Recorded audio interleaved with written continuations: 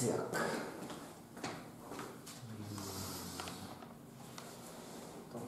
Минулого року, коли я лекцію записував, то в мене була температура, і це було дуже таке собі. Я думав, от наступного року перепишу, буде все краще. А фігушки. Ну, якось так. Тема сьогоднішньої лекції це узагальнення диференціального криптоаналізу, які вони в нас є.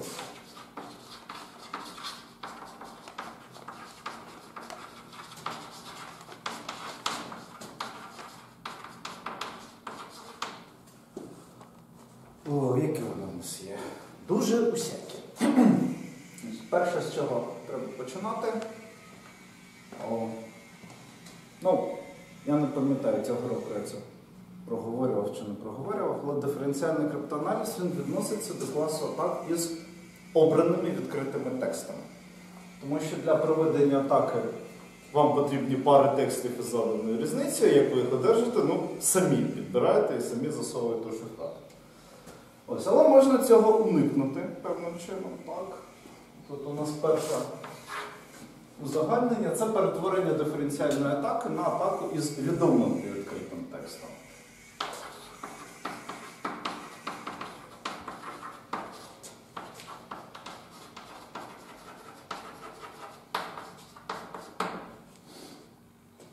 Насправді ідея дуже проста. Якщо ви візьмете велику кількість відкритих текстів, то серед них будуть якісь, що мають ту різницю, яку нам потрібно. І там далі, за парадоксом днів народження, обираються необхідні оцінки стійкості. Ну, власне, як це тут вказав? О, нехай в нас є класична диференціальна атака, яка вимагає n великих текстів для роботи. Так?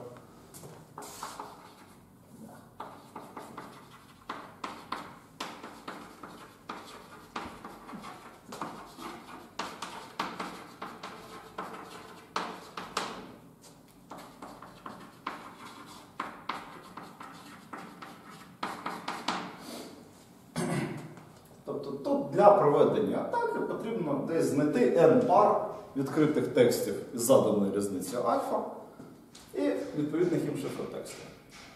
Добре. Тоді для якихось t випадкових текстів.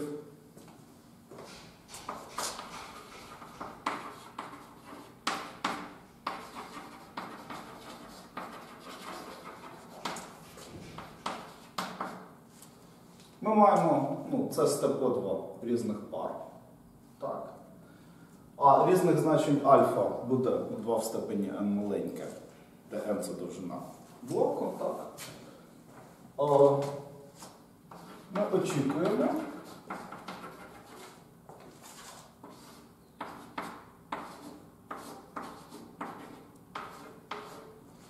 От приблизно таку кількість пар, яка має задану фіксовану різницю альфа.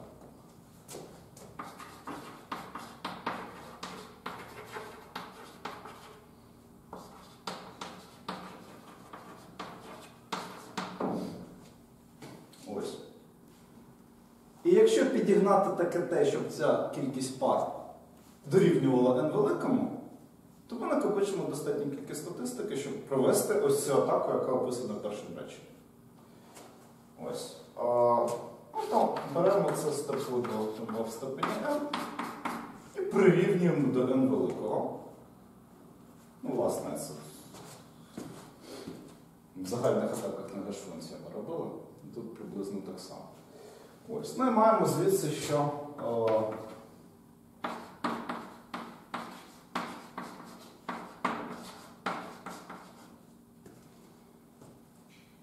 те в нас приблизно дорівнює ось такі величині. Тобто R у нас понижується, тому що корінь береться, але з'являється дуже неприємний домішок. Бо в. Ну і там насправді знов таки можна побудувати більш точні оцінки, можна задати ймовірність того, що у вас таке виникне там ймовірність успіху оцінити, виразити те через цю ймовірність успіху. Ну там з'являються якісь коефіцієнти. Все так само, як при побудові колізії на гешфункції. Ми бачимо, що якщо в нас n прийнятне, там n64, наприклад, так, то ну, Так, воно стає складнішим для реалізації в першу чергу. Але це з цим можна ще якось змиритися. Якщо n в нас там 128, це вже не зовсім багатько. Будете чекати такої кількості статистики дуже-дуже дуже довго. Ось. Але, ну, власне, ця, цей підхід так, перетворення диференціальної атаки на атаку з відомими відкритими текстами, о, ну, його досліджували Бірюков і Кушелєвич. Вони показали, що якщо в нас є певні обмеження на множини вхідних текстів, ну, скажімо, це тексти на природних мовах, то там розподіл диференціалів він дуже скошеним буде. Ну, скажімо, якщо ви шифруєте ну, текст е, кодування ASCII, так, англійською мовою, там старший біт завжди 0. Відповідно, диференціали з старшим нулем маєте ймовірність близькі до одиниці. І ось цей коефіцієнт можна суттєво знизити. Саме за рахунок цих відомостей, які у нас нерівномірності розпитував. І воно там може бути понижено, вони десь розглядали, е, але от ці загальні концепції.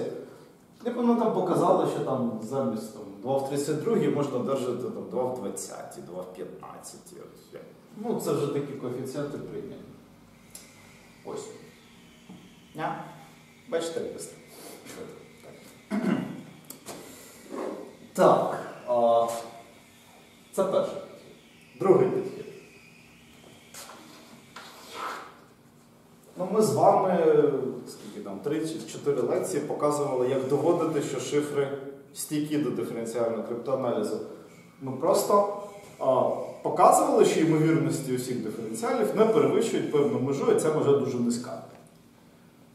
Ну а чому тоді не взяти не один диференціал, а багато диференціалів у сукупності розглядати як, як спільну статистику? Ось можна. О, здається, цей підхід вперше був сформульований Ларсом Кнутсоном. Ну, Кнутсон взагалі це один з найплодовитіших криптографів 90-х років. Нема такого напрямку, де б він не відмітився. Ось. А, значить, Зветься це аналіз усічених диференціалів.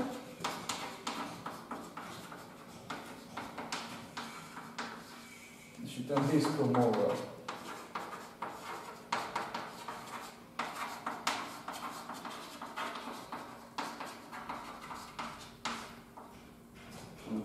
Differentials. Ну, усічений цей переклад мені не подобається, але я не вигадав іншого, більш кращого і десь там в джерелах також воно так фігурує.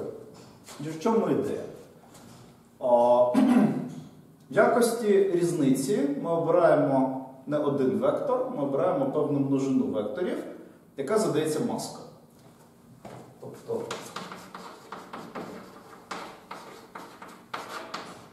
ми беремо вектор альфа і кажемо, що то є маска. І розглядаємо ось таку множину. Зараз формальне визначення напишу. Так, тобто Це множина всіх таких векторів в яких виконується ось таке співвідношення. Або, якщо ви пам'ятаєте, це множина всіх таких векторів, над якими домінує вектор альфа. Або, якщо людською мовою, це всі такі вектори альфа штрих, що там, де в альфі стоїть 0, то і в альфа штрих стоїть 0. А там, де в альфі стоїть одиничка, в альфа штрих може стояти все, що завгодно. Тобто у вас альфа 0,0,1, а альфа штрих це буде 0, 0, а тут що завгодно, а тут що завгодно, а тут 0, що завгодно, 0, що завгодно. Тобто ви лише постулюєте, що в певних позиціях вас обов'язково повинні стояти нулі, в інших позиціях все, що завгодно. А, відповідно, усіченим диференціалом ми будемо називати пару множин, що задаються певними масками альфа і бета.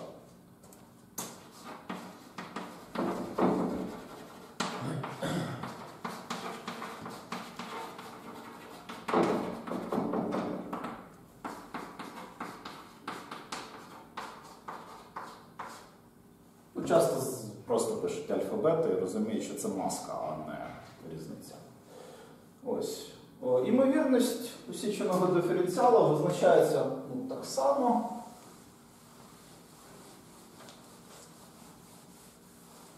Так, занотуйте десь собі, що сьогодні ми розглядаємо лише шифри марковські відносно операції XOR.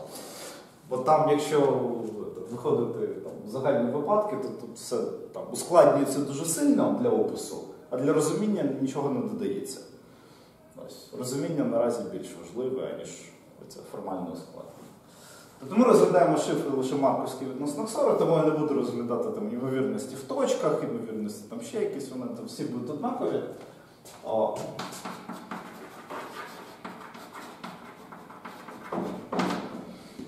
Ймовірність позначується truncated differential probability, так?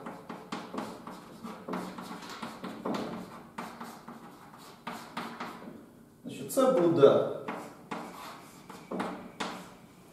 там, середня сума за іксами за ключами, або лише за ключами, або лише за іксами, в залежності від випадку. Так? А, Предикатів яких? Що в нас існує така альфа змножене дельта альфа, і існує така бета, змножене дельта бета. Все виконується співвідношення.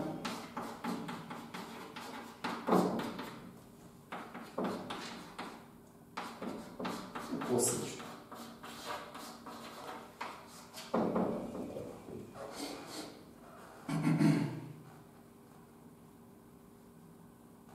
Тобто це сума по всіх таких іксах і ключах, що для якоїсь різниці, яка нам підходить, так, вона перейде штрих, вона перейде в якусь різницю, яка нам також підходить. Ось. Відповідно, що можна сказати про цю ймовірність? Вона буде вищою за довільну ймовірність для довільних альфа-штрих бета-штрих, тому що ви розглядаєте ну, більш широку подію. Так. Е, ну, Власне, це можна сформулювати у вигляді такої леми. О,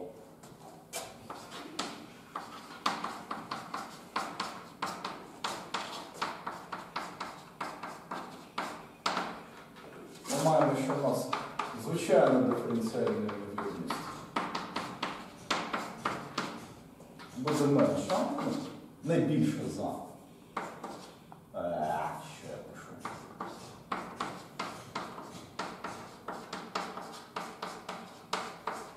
А це, в свою чергу, не перевищує сумі по всіх альфа-штрих і бета-штрих.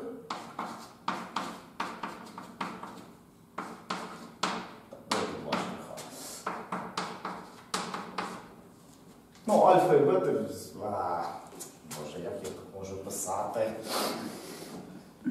Після всього, що я вимагаю від першокурсника.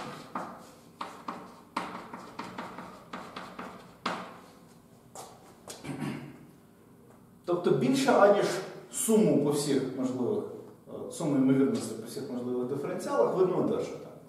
Але ну, це буде завжди більше за ймовірність кожного окремого диференціалу. В якому випадку ми одержимо в точності суму? Ну, тоді, коли оці всі ікси і к будуть розпадатись на незалежні підмножини для кожної пари альфа-штрих бета-штрих. Але е, ну, це неможливо насправді, тому що о, у вас для різних альфа-штрих може існувати однаковий бета-штрих, і там десь якісь ікси. Ну, в общем. Там, ну, щоб стверджувати, що тут буде рівність, то потрібно дуже добре проаналізувати сам шифр. А це зазвичай якось ну, на, надзвичайно. Євген? Євген. А можна присісти? Треба. Я вам тут ще конспірую. А, ну добре, залиши. Це. Так. О, Ми списали тільки дві дошки, так? Чи... та бачиш камеру, це все побачиш. І себе трошечки. Так, а... До чого я це все веду? Ну, знов таки, о, використовувати таку статистику ну, краще за звичайні класичні диференціали, але є проблеми. О, які проблеми? О, ну, в першу чергу відсутня взагалі формальна теорія стійкості.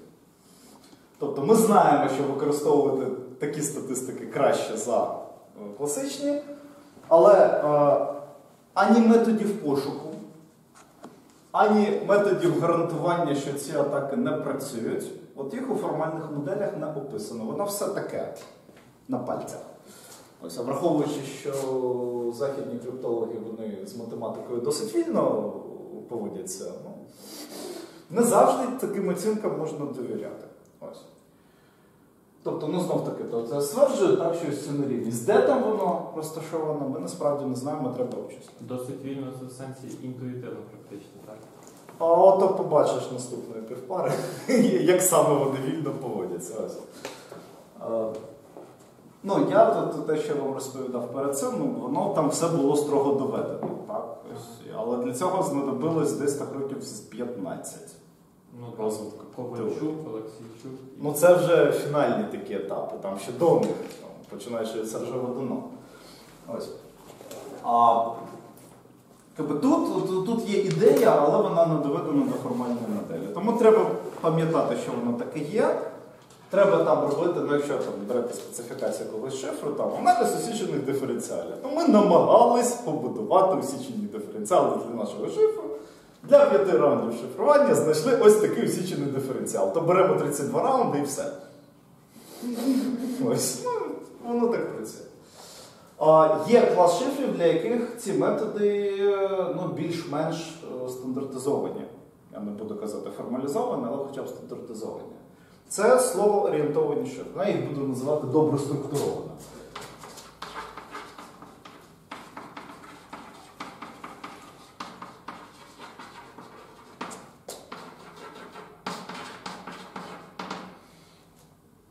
Значить, е, мається на увазі що? Що ми не працюємо з вхідними даними на рівні окремих бітів. Ми їх розбиваємо на блоки, на слова і працюємо зі словами. Слова можуть бути довільної довжини. Тобто е, це, ну, зокрема, е, узагальнені схеми Фейстеля.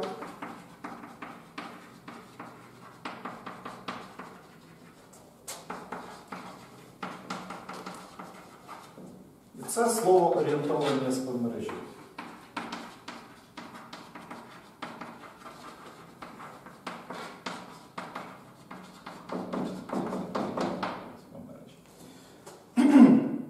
Ну, значить, чому для них е, працює? Тому що ось ці слова, коли ми розглядаємо різниці, можна розглядати на рівні слова ну- нуль або слово не нуль. А який саме не нуль, нам особливо не важливо. Але ми знаємо, що якщо в нас є об'єктивне перетворення, то нульова різниця перейде в нульову різницю, а не нульова в не нульову. І тут, ну. Давайте тут щось намалюю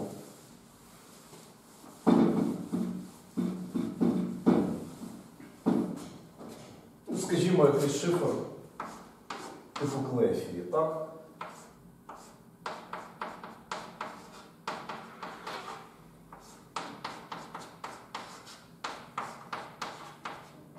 Узагальнена схема Фестеля. Б'ємо блок даних на 2, а на 4 блоки.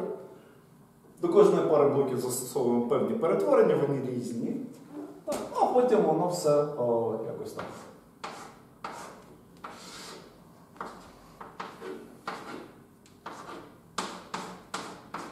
Перетасовується між собою. Я не пам'ятаю, чи в клефі саме така форма, чи не така, ну буде.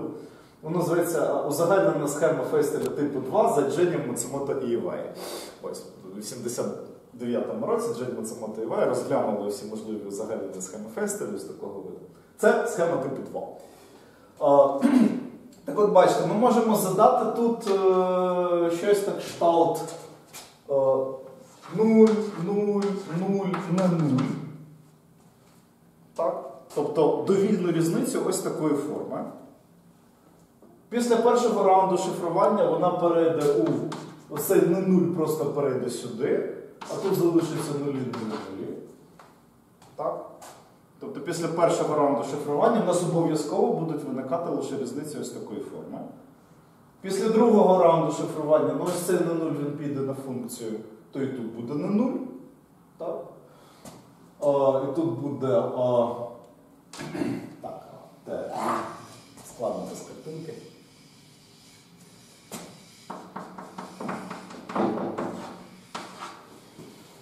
після другого раунду шифрування усі диференціали будуть мати ось таку форму.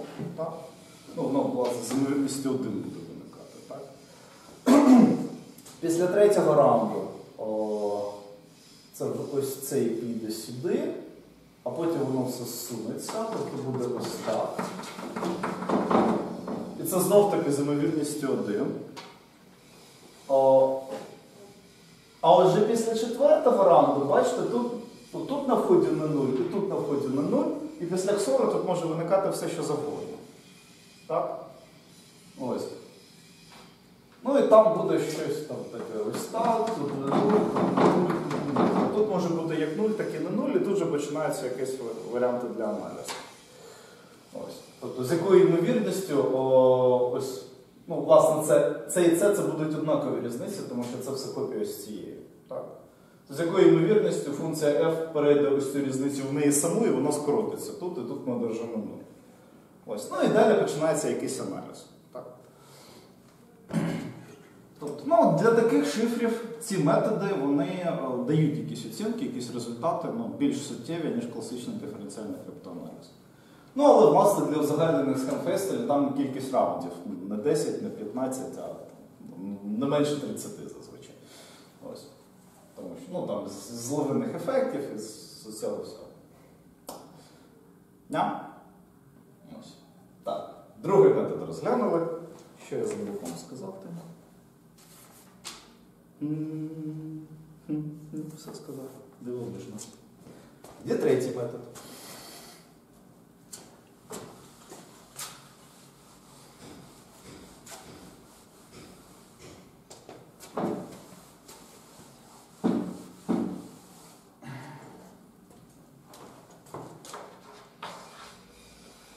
Це аналіз диференціалів високого порядку.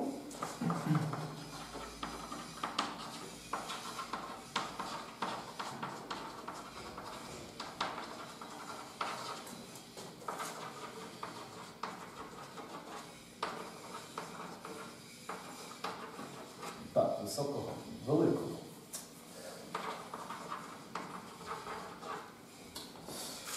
О, англійською.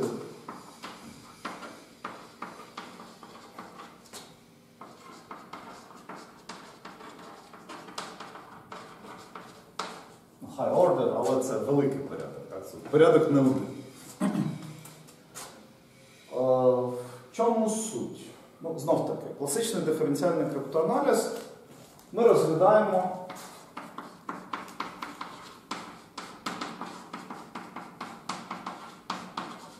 виконання ось таких рівностей. Так? Не пам'ятаю, Женя вже був, але ну, сьогодні розглядаємо лише шифри Марковські відносно СОР. Ось. А, на той випадок, якщо в тебе виникнуть питання, вони в тебе виникнуть. Так от, можна ж все знести всі функції в один бік.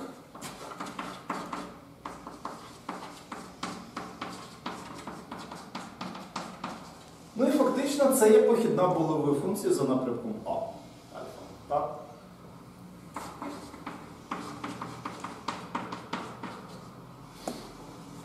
І фактично статистика, на якій будується диференціальний криптоаналіз, це розподіл похідних. Розподіли похідних, і чим більш нерівномірний цей розподіл, тим краще. А що нам заважає взяти не одну похідну, а дві похідних, три похідних, чотири похідних? Е, Ну, по-перше, звідки така ідея? У вас довільна булова функція, вона ж має алгебрично нормальну форму, вона має певний степінь. Так? Похідна цю степінь понижує. Тобто, якщо ви візьмете достатню кількість похідних, ви одержите константу. А константа це така функція, що має дуже нерівномірний розподіл у різницях. Ну там на виході завжди різниця буде нуль, скажімо так. Ось. А якщо у вас дуже нерівномірний розподіл, то атака буде дуже ефективна, тому що там у порівнянні з випадковою функцією дуже велика відстань. Ось. Ну от хто це в нас? Сюєдзелей. Так, один з- людей, які за- заснували взагалі цей напрямок і якусь формалізацію в ньому. Та він запропонував використовувати похідні не першого порядку, а більшого. Ну, власне, о,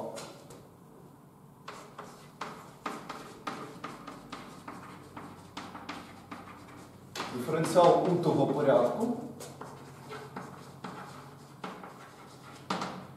Це множина векторів альфа 1, альфа 2, альфа у, бета.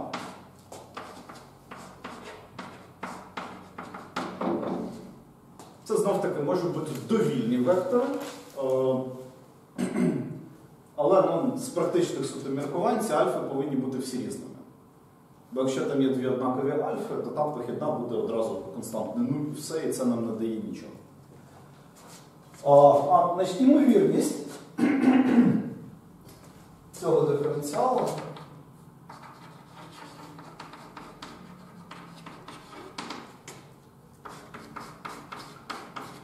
значимо ХДП, так? А,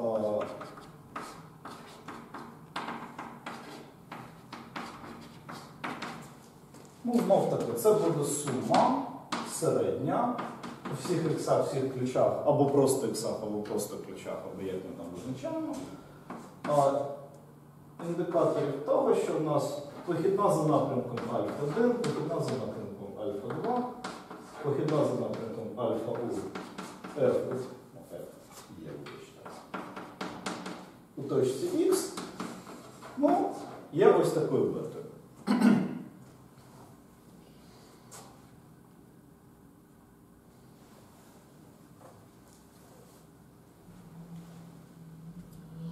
От.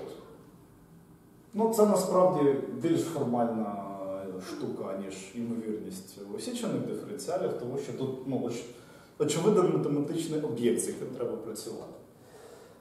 Так, ну і що ми маємо О, з цього всього? О, Є лема, вона дуже сприяє, так би мовити, розвитку.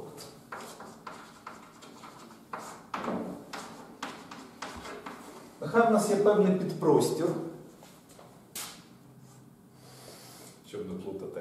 Тут є підпростір простору бітових векторів. Ну, знову таки, це множина замкнена відносно додавання, множині на скелетах.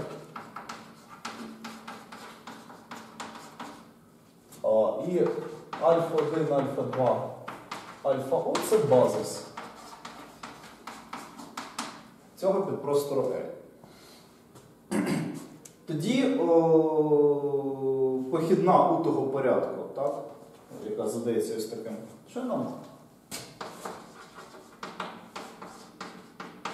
А у нас тут простір в степені У? Чи як? Ні, просто В. Ага. Ну, підпростір розмірності У.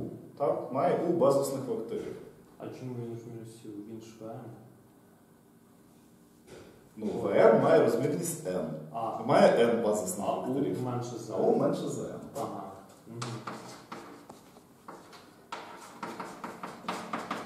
Значить, значення цієї похідної у того порядку в точці X буде обчислюватись як сума по всіх векторах з цього підпростору L зсунутих на вектор X.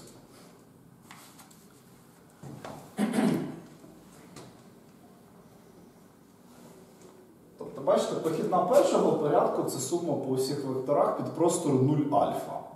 Під простору розмірності 2. 2. 1, вибачте. Так. Похідна другого порядку, якщо її там обчислювати, то буде е, f від x, f від x плюс альфа 1, f від x плюс альфа 2, x від x плюс альфа 1 плюс альфа 2. Під простору розмірності 2 мають саме таку форму 0, альфа 1, альфа 2 і їх сума. От. Із цієї леми потім, взагалі з цієї ідеї, е, виник інтегральний криптоаналіз, про який я буду казати десь за два тижні, здається, або за три тижні. Ось. Там і до диплому маші дійдемо. Ось. Так, а знову, які проблеми? Ну, добре, ми ввели цю конструкцію, вона більш формальна, ніж осічені диференціали. У нас є певна лема, яка дозволяє обчислювати такі статистики аналітично. Ось. Е- Але знов таки формальна теорія відсутня. І знов таки не зрозуміло ані як шукати диференціали високого порядку, ані е, як від них захищатись. Ну, навіть такі пошукові методи, як гілки та границя, так? Ну, ну бачите, ну, скільки їх існує цих диференціалів. Ти їх заминаєшся перебирати просто. Ось. Тобто, якщо у вас знаходить один 64-бітний вектор, то ви можете таке перебрати. А якщо вже два, то 3, 4, 7. Ось. А, Існує один простий, прагматичний суто метод захисту. Е, Не доведено, що він буде працювати так, як потрібно, але ми в це е, віримо. Ну, давайте окремо ламу сформулюємо.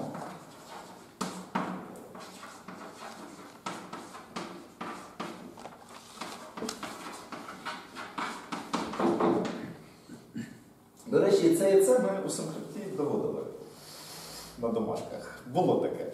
Ось. Е, Ну, власне, похідна е, булова функція має степінь, ну, який точно не перевищує степінь функції f, може бути ще меншим.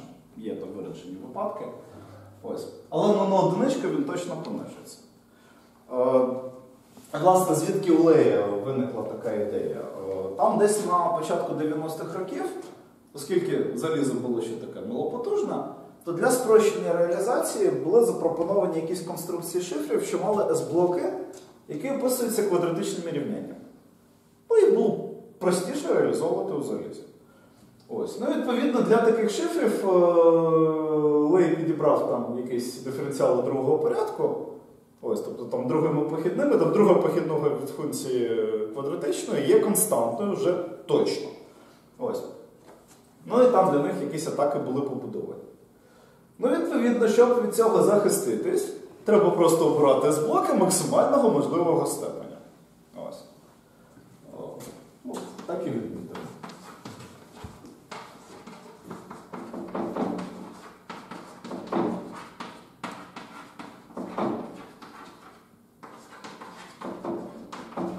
Що з блоки тут або інше.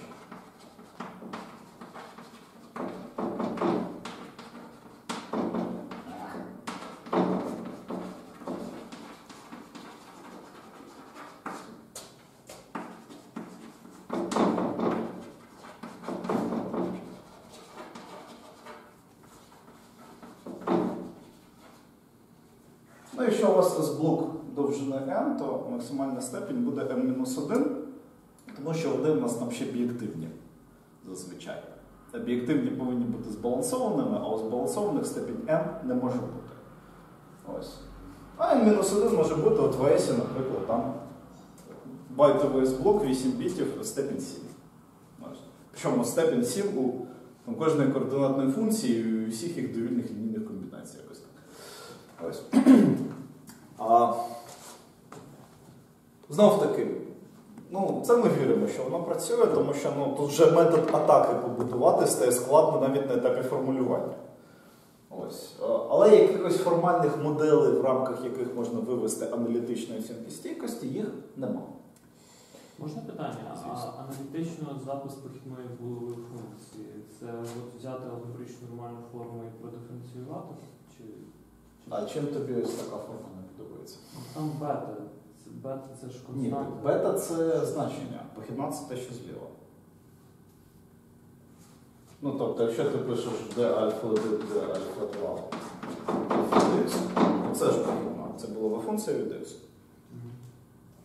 Це буде похідна о, від функції f від x.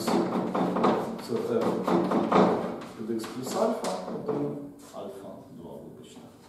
Ага. Ти знову підставляєш. Так.